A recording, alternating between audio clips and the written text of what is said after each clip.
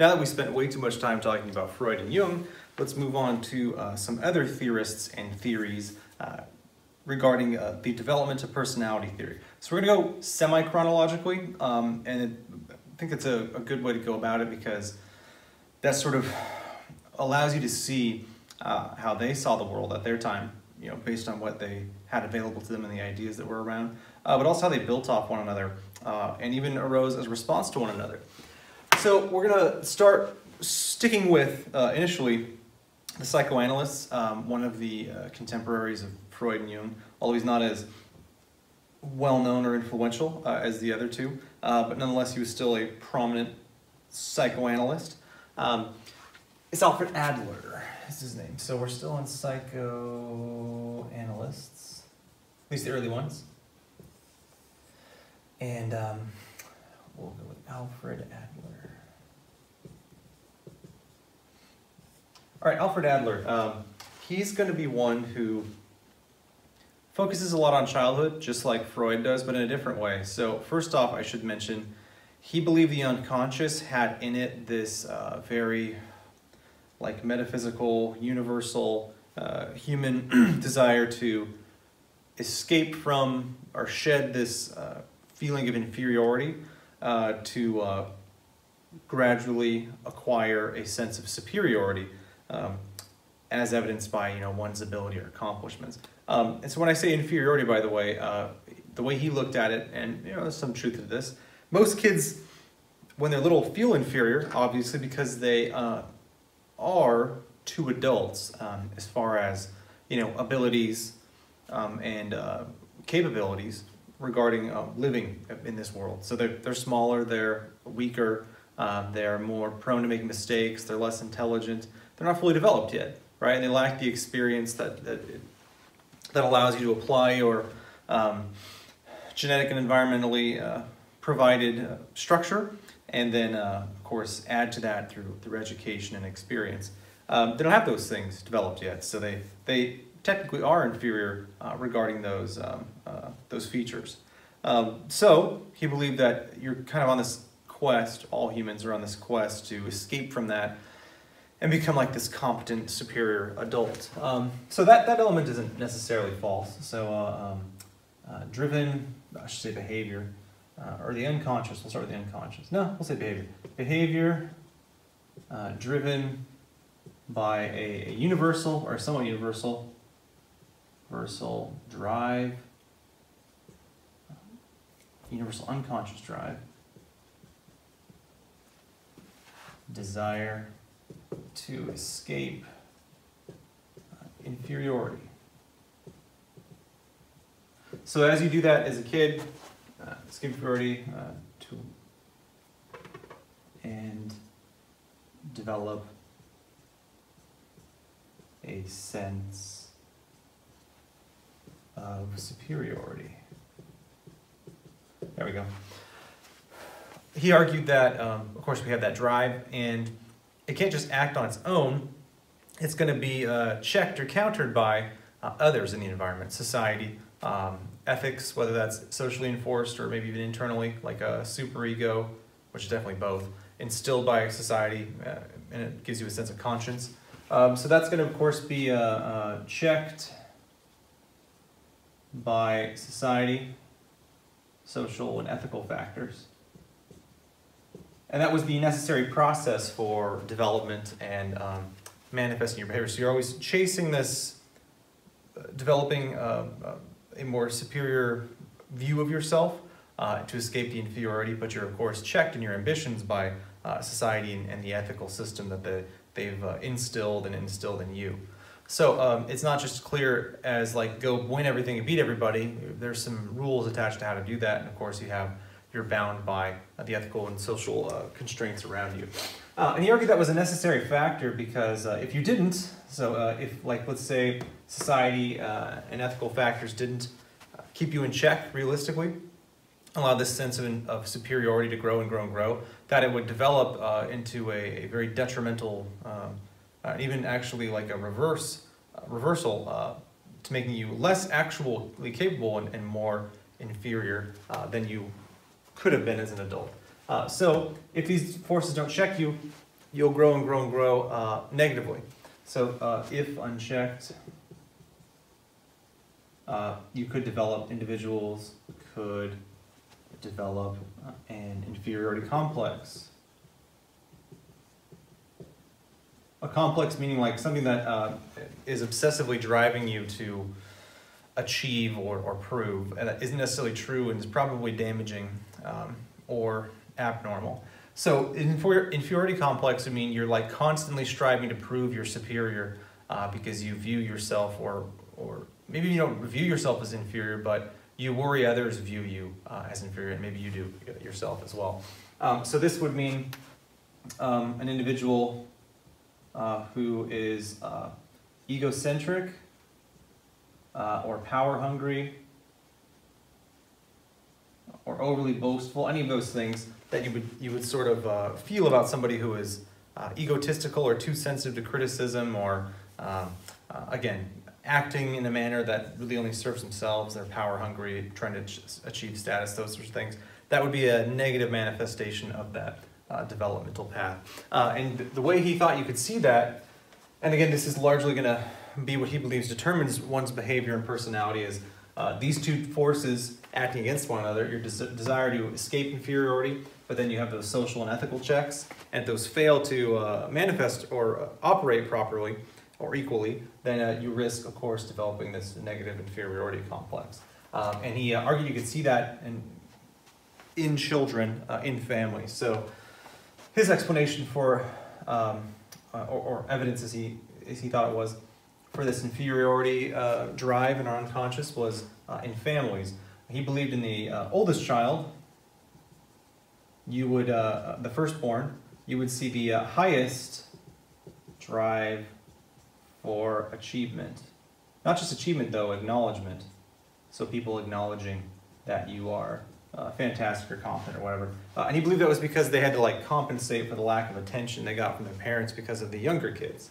All right, so obviously we're not talking about only child here. We're talking about oldest member of a, of, a, of oldest child in a family.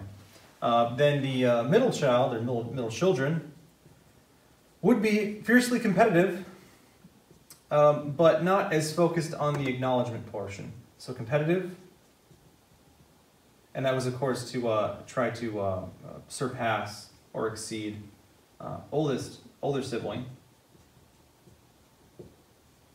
uh, but not fixed on glory, I guess you could say.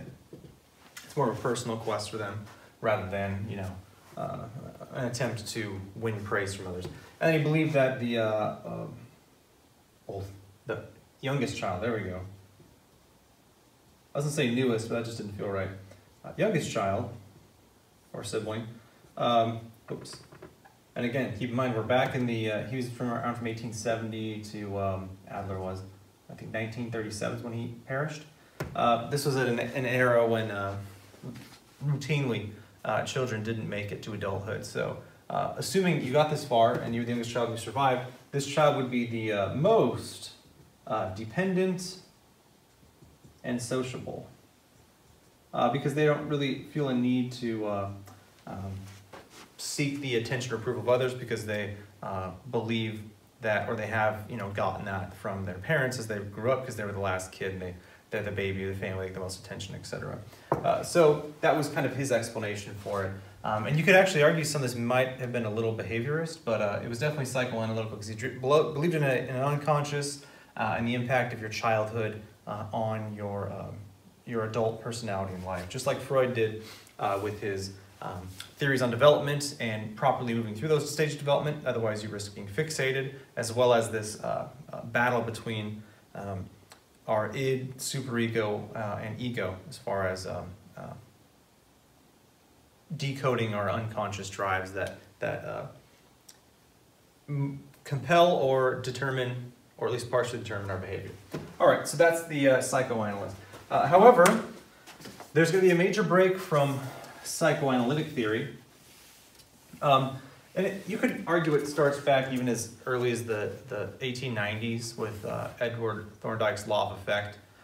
But we'll, we'll, we're going to more so attach it to Pavlov and Watson and Skinner especially as the start. So uh, behaviorist theories, personality. And if you remember your behaviorism at all, the classical and operant conditioning, you know that early behaviorists believed um, you were entirely determined by the environment. So you were, we were all kind of like those classical Lockean blank slates uh, that are uh, shaped entirely by our environment, and um, which again we know isn't true. Uh, and that was, uh, I shouldn't say it's not true. It's not true the way that it's stated. Those factors do uh, impact our behavior and development, not not solely, and not even uh, the most significantly actually. Uh, but they do play a role. Nonetheless, uh, this was largely driven again by these um, uh, fears uh, or uh, disgust regarding a lot of the evolutionarily uh, or evolutionary and biological explanations for behavior um, that were put forward by you know earlier psychologists and theorists, particularly because of the social Darwinist and eugenic and, and eventually Nazi ideologies. Um, so people are going to be kind of fixed on this. Your uh, brain itself doesn't matter. It's all based on the outside world. Uh, and you can even say the psychoanalysts partly believed something like that. They, they certainly didn't focus on the internal um, uh, mechanisms or processes of the brain. They focused a lot more on this um, abstract unconscious element and um, you know, drawing your development from uh, your childhood, which would be an experiential thing.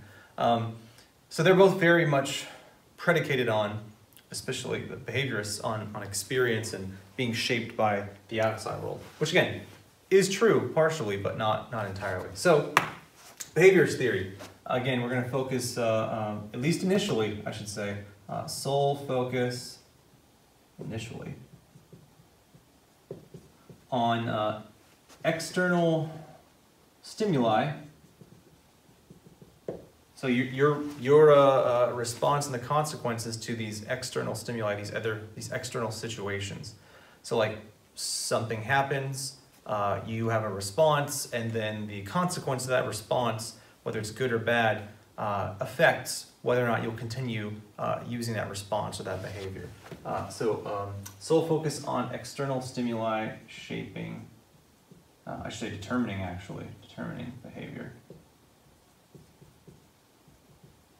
And we see this as uh, early on as um, Pavlov and um, uh, Pavlov and Watson. But again, you could tie Thorndike into this, the law of effect, which, you know, basically, you know, if something good happens, it increases the likelihood you'll do it again. If something bad happens, it decreases the likelihood you'll do it again. Um, but it gets more consolidated as a field and theory uh, starting with these guys. So you can certainly uh, link this to Pavlov and Watson uh, and classical conditioning.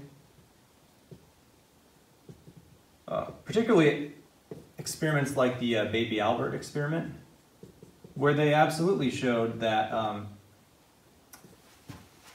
they could shape this kid's behavior by conditioning him to be afraid of or okay with certain uh, scenarios uh, or stimuli. So in the, the of the Baby Albert one, it was the furry animal.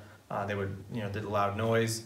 So the uh, kid would see the animal and it would anticipate the loud noise and cry. So he, they successfully achieved uh, this through experimentation, uh, although be unethical, um, that uh, they could uh, shape his behavior, this baby Albert. So I'm, I'm going to say, if we're looking at Albert's experiments especially, you could say probably the 1920s. You could, again, go back even further if you wanted.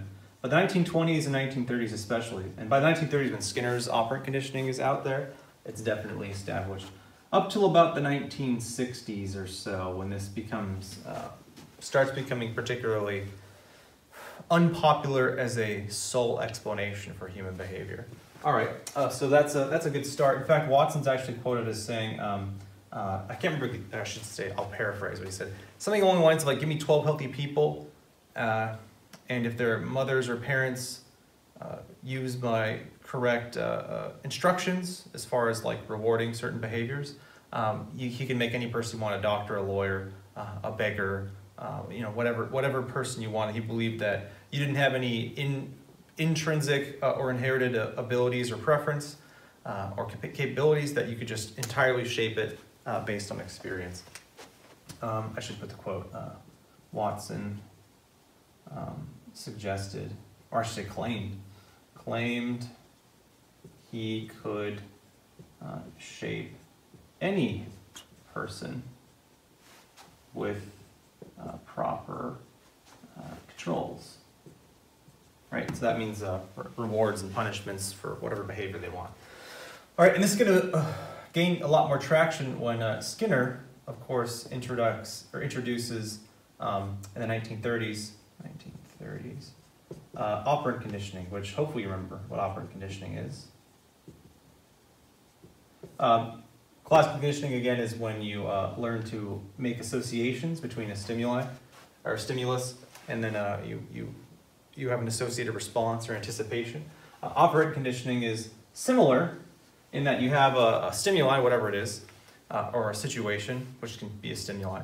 Um, and then you have a response to that, and uh, your response, the consistency of your response is going to match the consequence. And the consequence is either you're rewarded, so you're like, oh, that's a good response, I'll keep doing it, so you, you keep responding that way, or oh, you get a bad response, like a punishment, whatever, so you learn to avoid that uh, uh, response uh, to that stimuli. So we know that operant conditioning absolutely can affect behavior.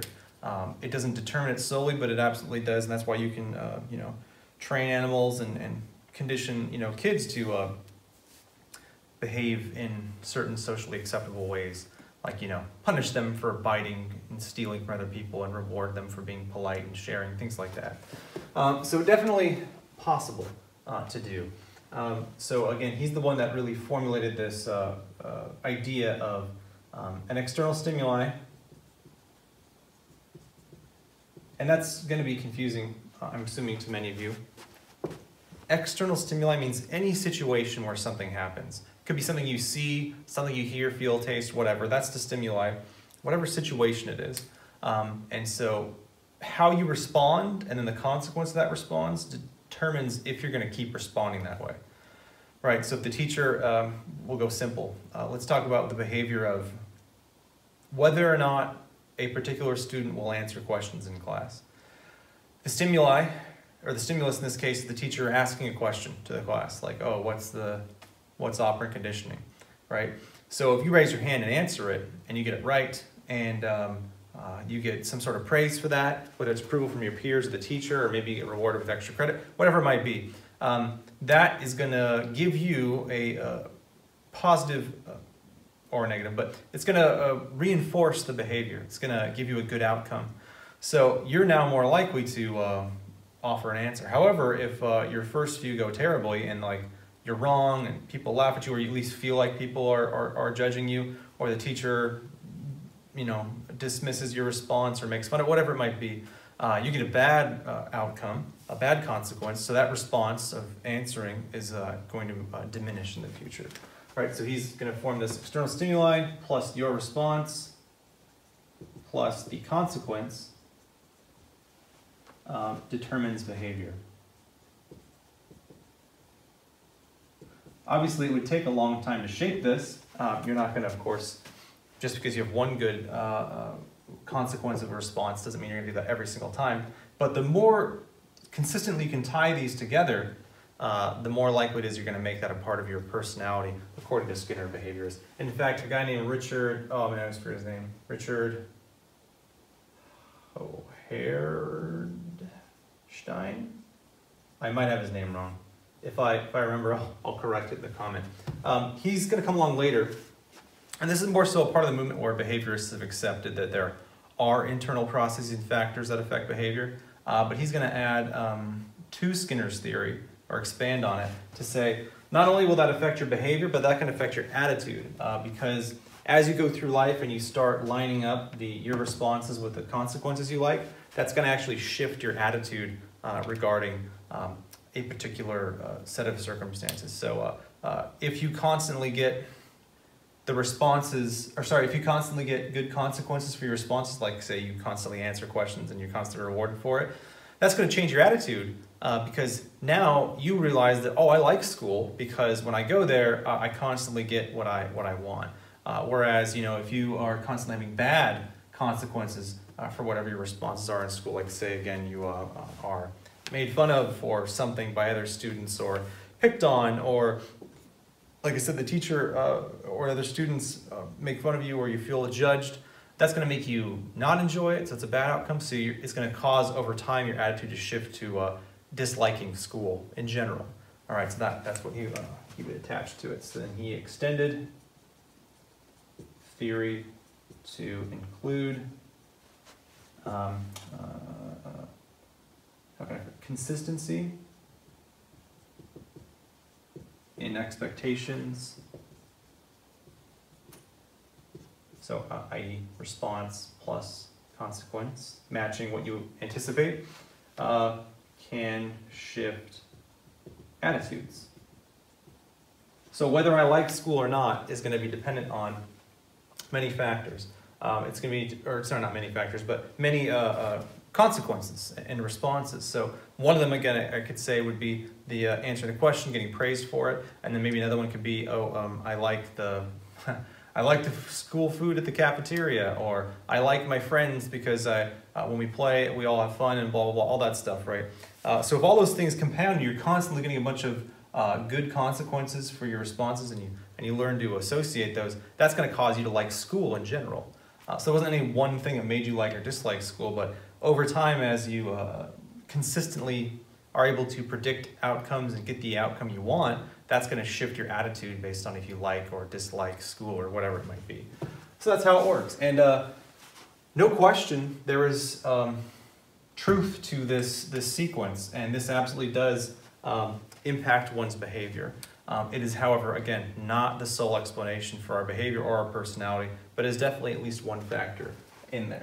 All right, so that's behaviorism and behaviorists, um, and they are going to totally um, uh, disregard any sort of um, um, uh, other processes uh, regarding internal processes like your emotions, your your uh, natural character uh, or, or, trait uh, interests, like things you like or dislike, how sensitive you are to um, um, good and bad consequences, that sort of thing. They don't believe in anything going on in here uh, being relevant. They just believe that this helps carry this process out.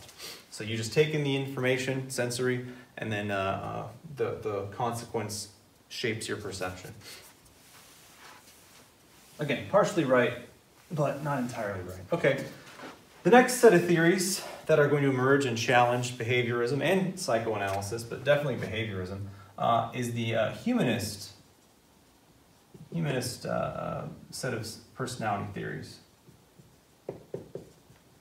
All right, as the name implies, uh, it is focused much more on the individual human, and they I don't know if they chose this per se, I believe they did, but whether it was chosen by them or given to them this this name, this field name of humanist it's because they're going to de-emphasize looking at humans as kind of like these uh, robots that have like these fixed mechanisms um, where you, have this biological mechanism that takes in information and then it experiences uh, consequences and then it changes its perception.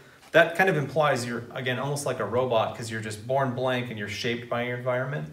Uh, or the unconscious, either you're born with this unconscious and it's just kind of like controlling you to some extent, you have to figure out what it is. Uh, humanists take a different approach. They say, no, you're not determined by these like mechanisms, but rather you're uh, an individual with a free will, and it's your job uh, to, uh, when you're put into the world, to uh, figure yourself out and um, live the live your life through subjectively experiencing the world, um, meaning like how you interpret it being good or bad or likable or not, uh, and that is what's going to guide and dictate uh, your life. Um, and that, um, that that's kind of the focus of it. I'll get into more detail in a second. So, humanist personality theory. They're going to uh, reject a, uh, uh a fixed uh, mechanical um, set of explanations for behavior.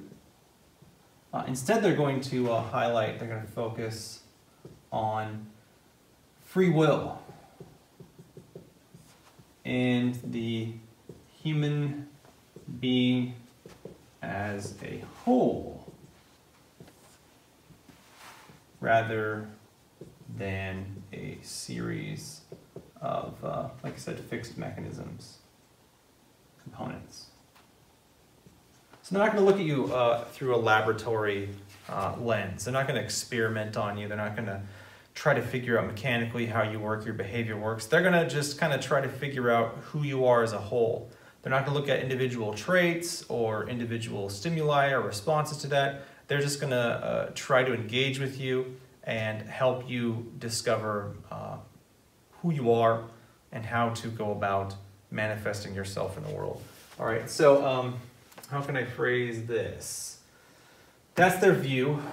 I guess I'll start with kind of the, the, the first two. So this is going to be largely developed by um, two gentlemen named uh, Carl Rogers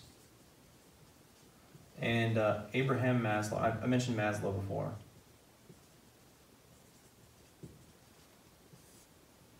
Um, and they're going to be uh, the ones that sort of uh, develop the humanist uh, field, psychology. All right.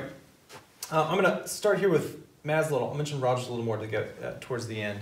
Uh, but they, they both did work together quite a while, for quite a while, collaborating. They do have some nuanced views and applications, but they do share this, this general set of views that you're an individual who is operates with free will and you subjectively experience the world. Subjectively meaning like it's the world is different through the eyes of everybody and whether something is good or not or likable or unlikable depends on the individual and their free will in their mind. Not unlike the mechanical mechanisms of your brain or your unconscious or whatever.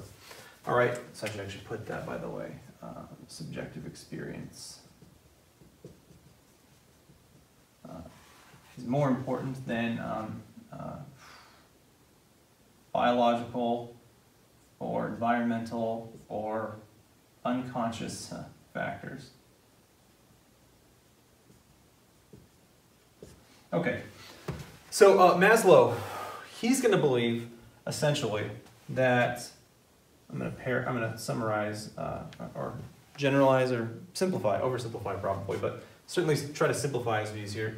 Uh, Maslow basically believed that um, all humans had a, had a similar sort of uh, general goal. Now, how you get there and, and, exactly what that goal looks like when it's actually carried out, the details is going to be different, hence the free will. But we all kind of want the same thing. We have like a basic set of needs. That's where his hierarchy uh, comes from. Hierarchy needs. All humans uh, have a similar fundamental set goals and needs. Um, and then uh, once these lower needs are met, lower needs met, he focused a lot on individuals that would try to uh, transcend or what he referred to as self-actualizing uh, in the world. So self-actualized, actualize means to make real or find out or make manifest. So the idea is once your lower needs are met, and I'll get into that in a second, uh, you get to the, the final stage of which is self-actualization, where you are fully comfortable and accepting of the world and all of your needs are met.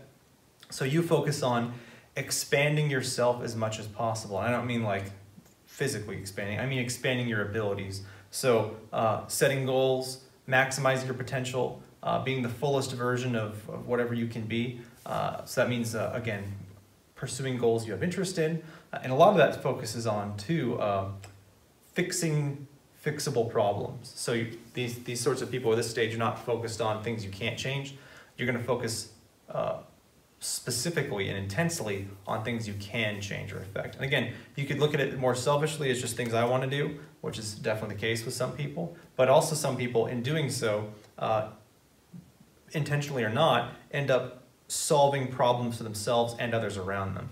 So whether it's a very selfish outlook uh, or it's one that's more uh, altruistic or, or, or uh, not self-centered at least, that they are going to make the world better uh, generally by solving problems, whether it's for themselves or for others or, or, or however it's going to go about. So well, once all needs met, um, individuals tend to pursue self actualization.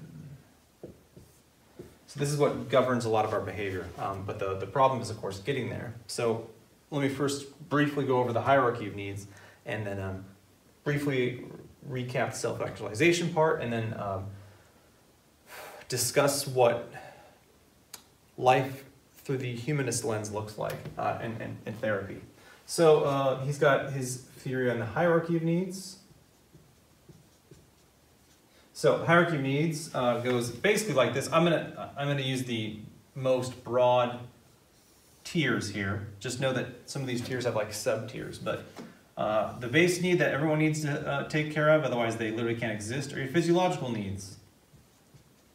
Uh, that's just like you need to have food, water, air, etc. Without those things, you will literally die. Uh, so when people don't have these things, that is what determines their behavior. They are focused on acquiring those things. Oh, I'm going to starve or uh, die of um, thirst, or um, you know, what's the other needs? Shelter. You know, if I don't have those things, my whole life is generally focused on getting those things for myself or my family. All right, so that'll determine your behavior. Next behavior determinant would be um, safety needs. So again, you could re refer that to shelter or, or, having weapons or being part of a group or whatever it might be. Uh, if you are in immediate danger, that is going to be the focus of your behavior. That's going to dictate uh, how you view the world. That's going to uh, create a certain set of anxieties for you that you're going to uh, try to live with or have to live with and try to cope with or, or better. So once those safety needs are met, so again, that means like you have a house or a shelter, you have some sort of protection uh, through um, uh, weapons or a system or others, or you live in a society that has protection, generally speaking. Uh, once those needs are met, you can go up uh, another rung, which would be uh, belonging needs. So once, uh, and these can be kind of intertwined, but once we've got our physiological needs, again, food, water, air, etc. Uh, safety needs, we're not in, under immediate threat of dying from some external factor like an animal or disease or another human, whatever it might be. Uh, we would go to the, the strata of, of or the stratum of um, belonging. So humans have an intense feeling or need or desire uh, to belong and be loved by others. So again, once you've met these things, that's when you focus on forming strong friendships or maintaining family relationships, uh, and then especially, uh, even uh, after adolescence anyway, uh, an intense focus on finding a, uh, a romantic partner, a spouse. those will dominate your anxieties or thoughts and behaviors as pursual or pursuit of that that belonging sense. So if you don't have those things, that's going to dominate uh, your life. Uh, and again, that's, that's kind of what happens as you go up this tier. Uh, once you have these, then you focus on these, and that dictates your behavior and thoughts and anxieties. And then you have that, then this is what uh, dictates your behaviors and thoughts and anxieties. And then after the belonging uh, uh, has been met, and this can also intertwine a bit with the with the belonging, but then you have your self um, self esteem needs. And I'm not a big fan of self-esteem um, because it's actually, well, I'll get into that when I talk about personality, but no, I'll tell you now. So self-esteem is uh, not really much of a psychological concept. I realize that um, the theories of, of, Maslow have been kind of uh, referenced to uh, as this, at least in this tier, but we've actually found that one's self-image, like how they feel about themselves and, you know, therefore you should only say positive things about people and never hurt their feelings or whatever. Uh, which which is true. You should never just go out intentionally trying to hurt people's feelings and be hurt, hurtful, hateful, or mean. That's not what we're saying. Uh, but one's self-esteem isn't as much dependent on the praise they're getting. It's much more dependent on how their trait personality, their sensitivity to negative emotion, which is neuroticism, and their sensitivity to positive emotion, which is roughly extroversion, uh, how those two intermingle. So if somebody is low in extroversion and high in neuroticism, doesn't really matter. They're going to have low self-esteem or they're going to have issues with self-esteem throughout their life.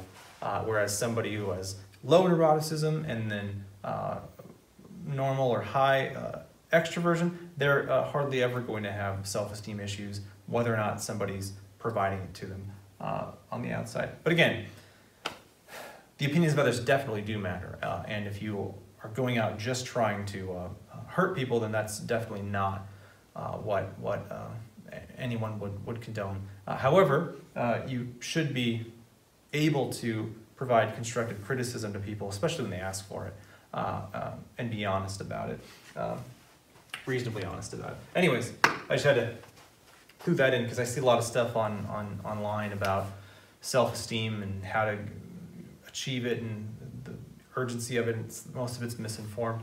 Um, but I should mention, by the way, that's not how Maslow intended it either. He means self-esteem as in kind of like your self-confidence uh, in a more realistic manner. So this is where people would try to achieve some sort of uh, notoriety or competency uh, from others. So here's where you would, again, try to become competent at something, uh, whether it's life in general or a specific field or ability, uh, and then you want some sort of social recognition for that. Because you can think you're great, but if you're not actually great, it's not going to be reflected in the attitudes of anybody else.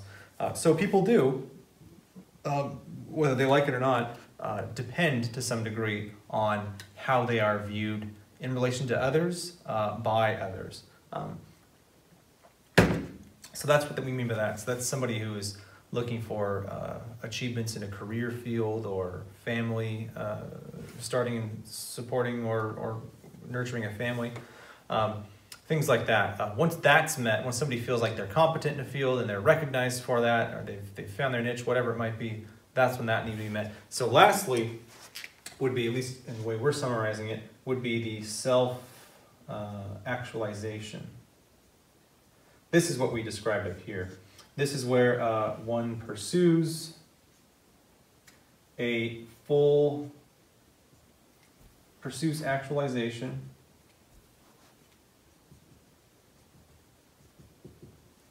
And that can mean like, uh, kind of like a transformation. Transformation into, or actually, I'd say probably a better way to phrase it is a pursuit of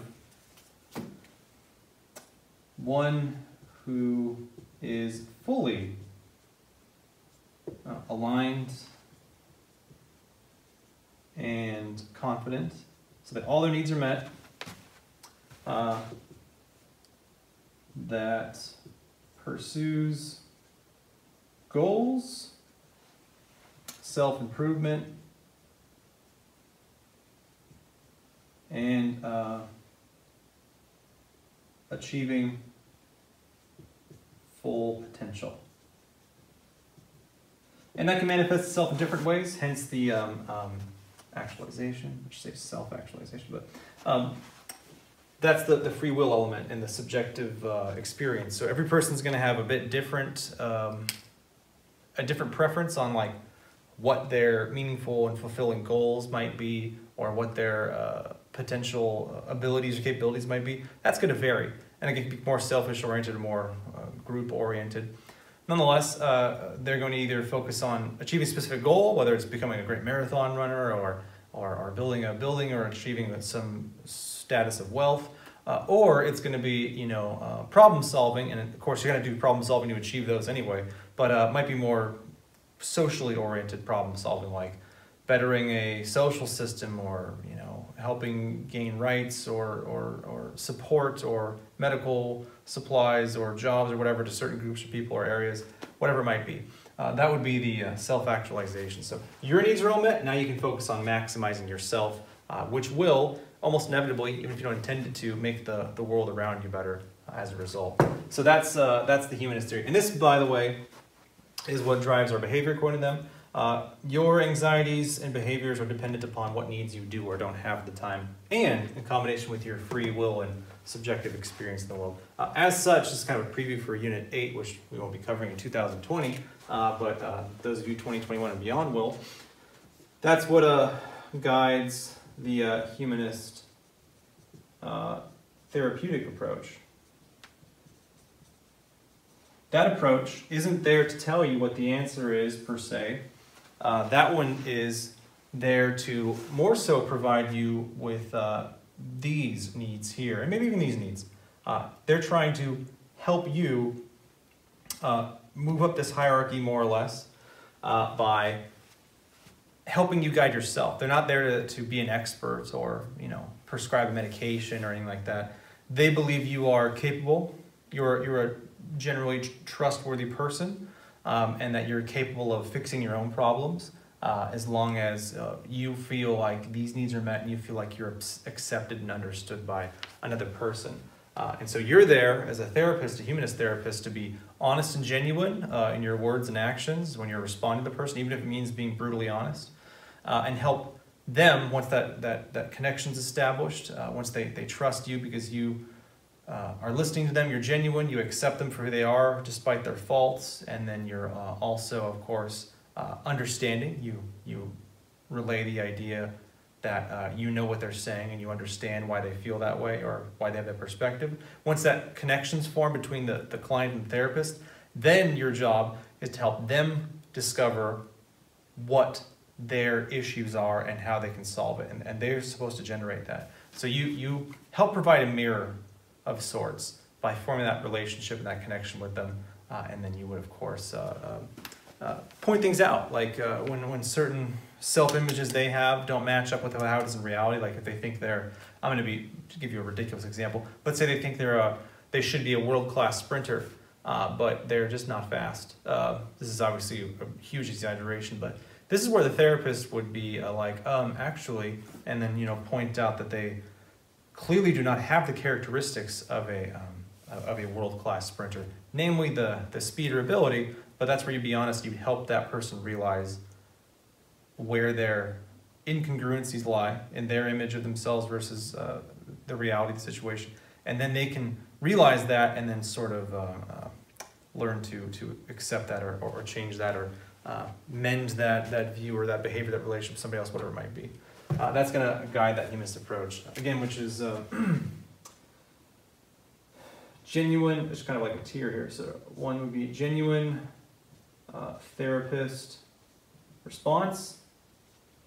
Then you would, of course, be, um, you would be three, four, five, six. Uh, then you would be um, accepting of the person. Uh, that doesn't mean, by the way, you think that they're perfect the way they are. That means you realize that they are flawed, but they are legitimately doing their best in the world according to their understanding. That's different than saying, no, you're perfect the way you are. It's saying, I know you're flawed, and I know you know you're flawed, and that's okay. We're, and I know you're trying to make it better, uh, and, and I'm here to help you do that. And then, of course, that they uh, show that they um, they show that they, um, through being empathetic, they're going to show that they understand them. So they are going to uh, uh, mimic or reflect what they say uh, accurately so that the patient understands, the therapist understands them. Uh, and that, of course, is going to allow uh, the therapist client relationship to, to take root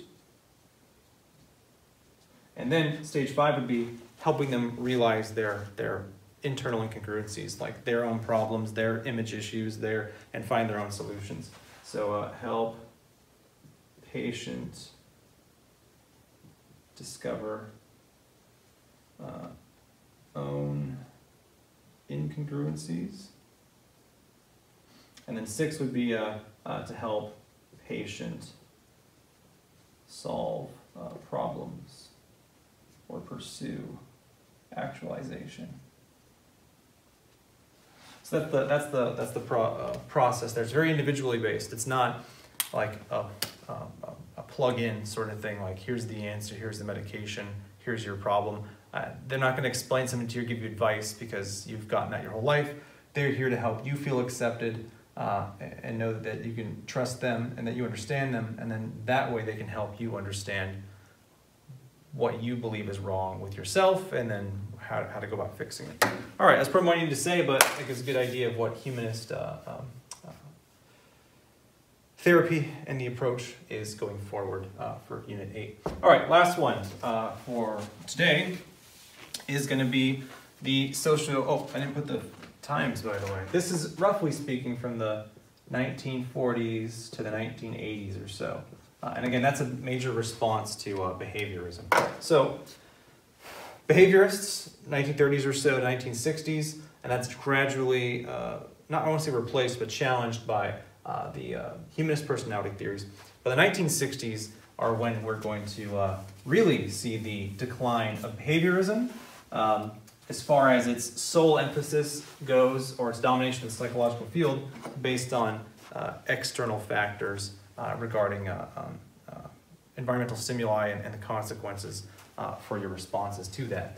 So this one you can kind of lump some describe as sociocultural uh, theories uh, for personality. There's definitely not one you can give here, so I want to make that clear.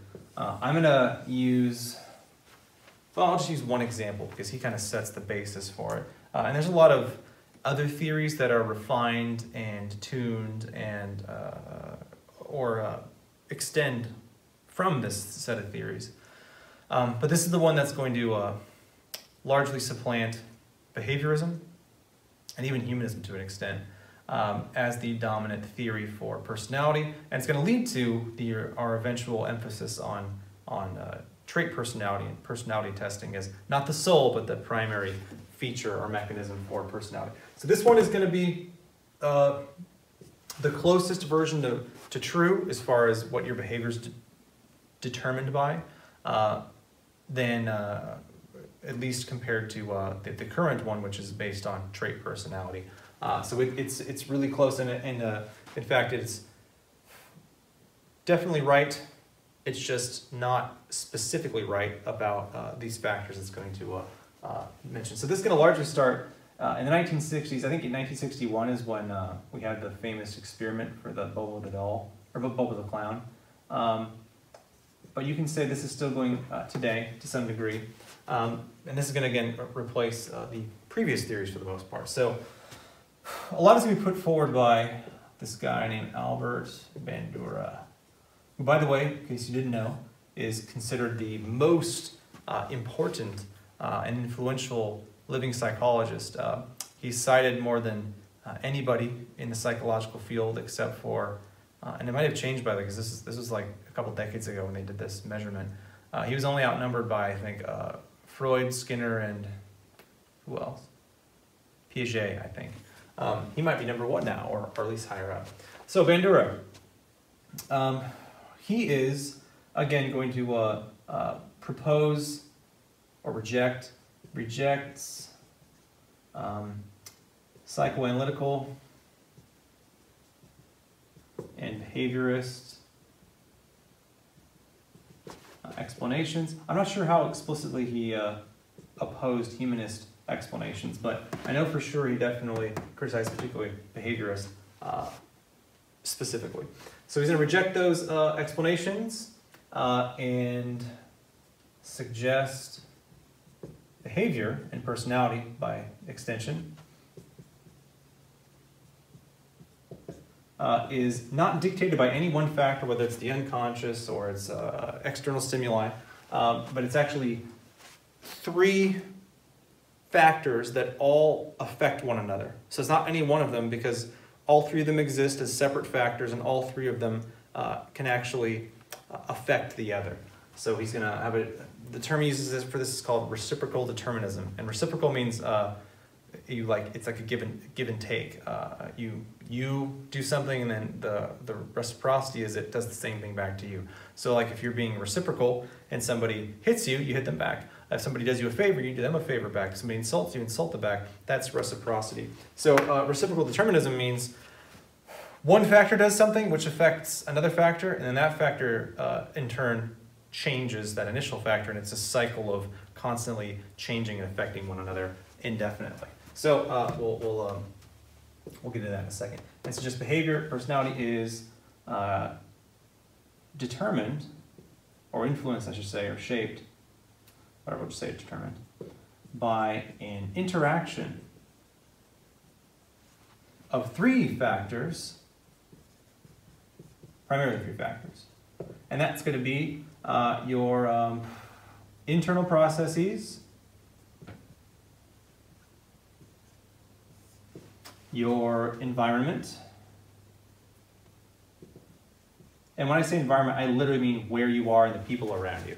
I don't mean uh, the next step, which is the behaviorist part, because he's going to, of course, admit that um, uh, behaviorism is correct partially, but not entirely. So he says that these two are the biggest factors uh, but also, you're of course going to have uh, external uh, stimuli, or at least your experience with them. I should say experience. So what I do is dependent upon three factors. Number one, my internal processes. So maybe my trait preferences for uh, doing things or not doing things, whatever the activity is or the people involved, uh, as well as my emotional response or fear uh, to that uh, situation or, or, or uh, you know, joy or enjoyment. Um, that's going to be one factor. The other factor would be the actual physical environment. So, like if it's doing or not doing something, that's going to be dependent upon uh, my environment, who's there, where it is, what time it is, etc. That's all going to play into whether or not I actually do or don't do something or what I do. Uh, and then the external stimuli, that's based on our experience of, of the consequences for our responses and actions. So our memory is definitely going to have, uh, an experience is definitely going to have an impact on whether or not we do something. So that probably didn't help a whole lot of you. Um, uh, let me try to explain this with an example. So um, this is, um, let's go with rock climbing. I think this is the example in my notes. So the likelihood that you will or won't go rock climbing and how you act when you are rock climbing, uh, it's not clear cut. Uh, what you actually do, uh, whether you go or not, and then what you do while you go and, and how, uh, how well you do or, or how quickly you want to give up or not give up, however, whatever it means, whatever, I mean, whatever it implies. Um, that behavior is going to be determined by all three of these factors, uh, and they're all going to uh, interact uh, to, to, determine one another. I forgot to actually write that up there. Uh, and these three, all three interact. Actually, I thought it written, I shouldn't make me so redundant. Uh, that essentially defines what's called reciprocal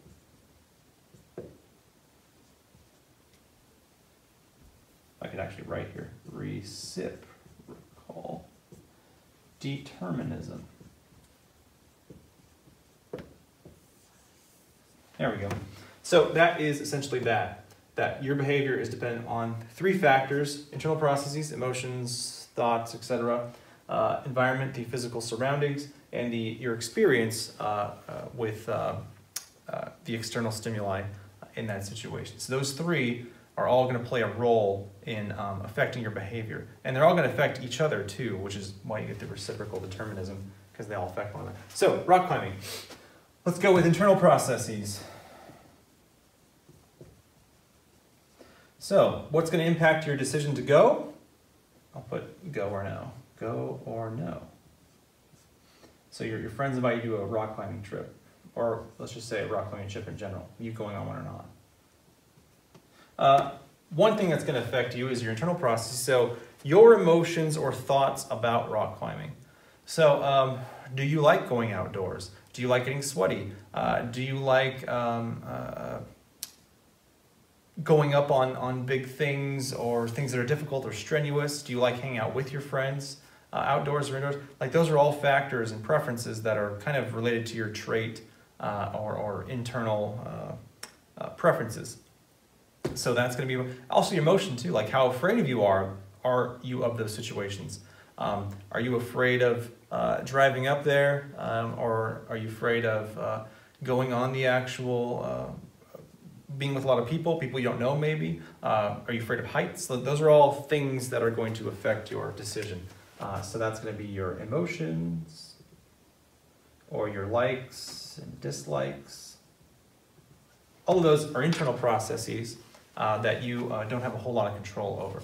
All right, that's not the only thing though. The other thing is going to be the environment itself. So this, I think you can agree, would affect whether or not you decide to go and when you go, how much you enjoy it, what you do.